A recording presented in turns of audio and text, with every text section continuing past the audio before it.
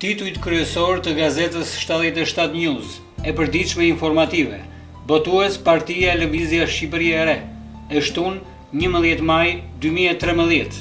Edmond Vlashaj, Shqipëria e Re ka nevojë për edukim të ri kombëtar, bazuar mbi ndershmërinë, disiplinën, përgjegjshmërinë dhe drejtësinë. Mendimi pozitiv, Të ndiheni të fortë dhe të suksesshëm.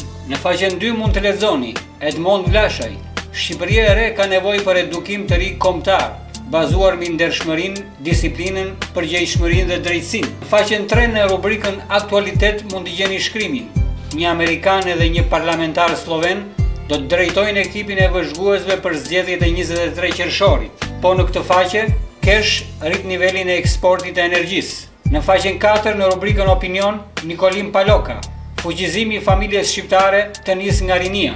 Po në këtë faqe, qeraja tatimore do të sjellë konkurrencë të ndershme për sipërmarrjet. Në faqen 5 në rubrikën Drejtësi dhe Solidaritet mund të lexoni Erisa Lika, në fakultete mungojnë monitorët e notave, rrezikoj provimet. Në faqen 6 në rubrikën Ide mund të gjeni shkrimin Më shumë mundësi dhe përkrahje për familjet në nevojë. Po në këtë faqe, ushqimet që favorizojnë rrezet e diellit.